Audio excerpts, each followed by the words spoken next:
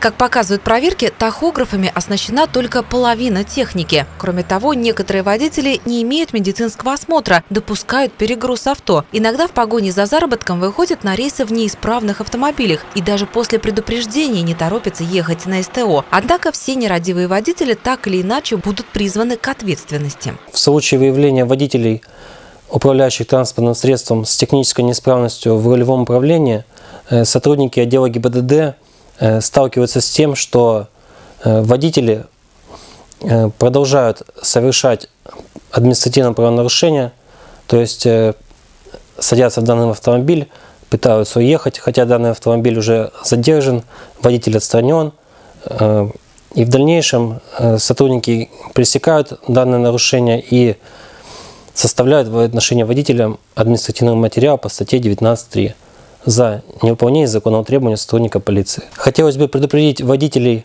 грузового транспорта, что в случае неповиновения законного требования сотрудника полиции данные административные материалы направляются в суд. С начала этого года сотрудники Анапского отдела ГИБДД составили 2320 протоколов на водителей грузовых автомобилей. Но нарушения водителями этой категории не прекращаются. Автоинспекторы каждый день выявляют потенциально опасных участников дорожного движения и спрашивают по всей строгости закона. Благодаря этой работе число аварий с участием больших грузов в Анапском районе снизилось.